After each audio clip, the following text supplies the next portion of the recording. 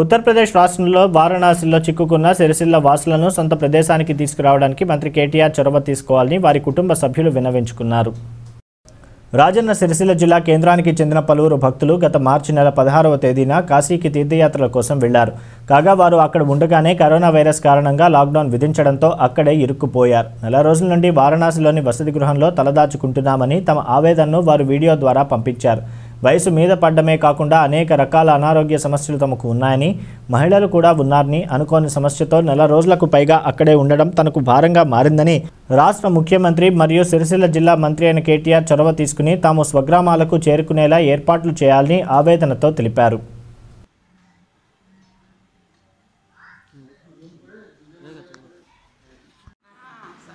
కేసీఆర్ సార్కు కేటీఆర్ సార్కు మేము సిరిసిల్ల నుండి మార్చి పదహారు తారీఖు నాడు యాత్ర బయలుదేరినాం కాశీ యాత్ర పది రోజులలో తిరిగి వస్తామని మేము అనుకొని వచ్చినాము. నాలుగు రోజులలోనే మరి ఇక్కడ సీల్ అయిపోయింది మేము ఇక్కడనే సిక్కిపోయినాము. మమ్మలను దయచేసి సిరిసిల్లకు రప్పించుకునే ప్రయత్నం చేయాలి. మీకు ఎల్లకాలం మీకు రుడబడి ఉంటాం. ఈడ అంతా పెద్దవాళ్ళు ఉన్నారు. ఎనభై ఏళ్ళు అరవై ఐదు ఏళ్ళ వాళ్ళు ఉన్నారు. ఇక్కడ బాధలు అయితే మాకు ఎవరు లేరు. ఏడు మందిమే ఉన్నాము అయ్యా కేటీఆర్ గారు నా యొక్క నమస్కారాలు. నేను సిరిసిల్ల ఎల్ది పోచెట్టిన అనే కార్మికుణ్ణి.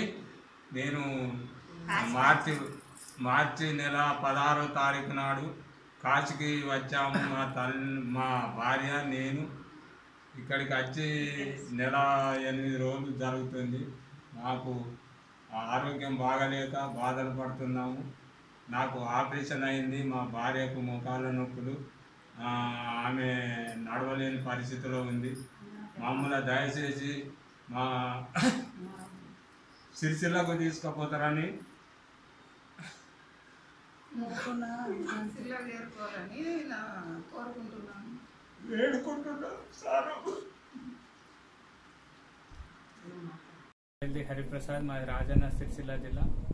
గత నెల పదహారవ తారీఖు మార్చి పదహారవ తారీఖు మా తల్లిదండ్రులు కాశీ యాత్రకు బయలుదేరి అక్కడే లాక్డౌన్ కారణంగా అక్కడనే చిక్కుకున్నారు. గత ఐదారు రోజుల కింద ఒక కొన్ని బస్సులు పంపిస్తే వీళ్ళు వృద్ధులు కాబట్టి వీళ్ళకి బస్సులు దొరకలే అక్కడనే ఆగిపోయారు.